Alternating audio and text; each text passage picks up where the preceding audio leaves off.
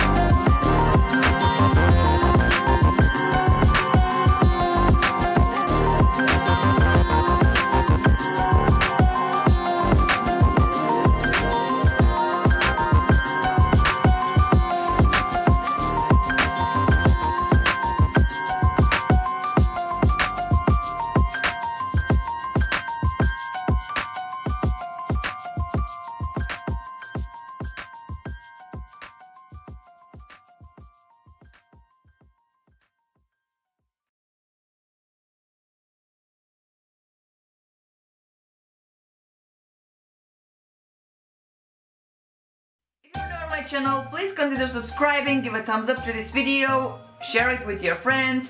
And uh, if you didn't know, the month of December is full of giveaways. So if you want to participate to any of my giveaways, to any contest that I am launching on this channel, you must be subscribed, hit that hit that, hit that, hit that bell.